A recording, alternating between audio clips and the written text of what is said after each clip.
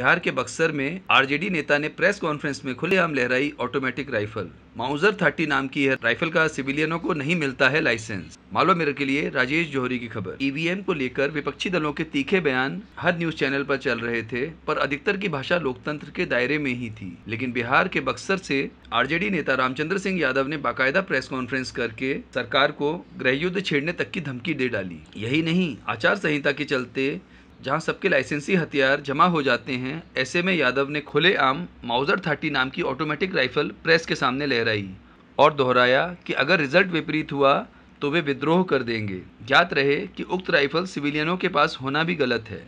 मालवा अंचल की जामनिया रियासत के वर्तमान महाराज शालीवाहन सिंह ने टीवी पर जैसे ही इस दृश्य को देखा, तुरंत बिहार के डीजीपी और बक्सर के एसपी को इस बात से अवगत कराया।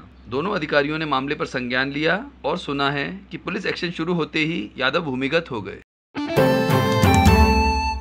खबरों से अपडेट रहने के लिए चैनल को सब्सक्राइब करें और नोटिफिकेशन बेल दबाएँ।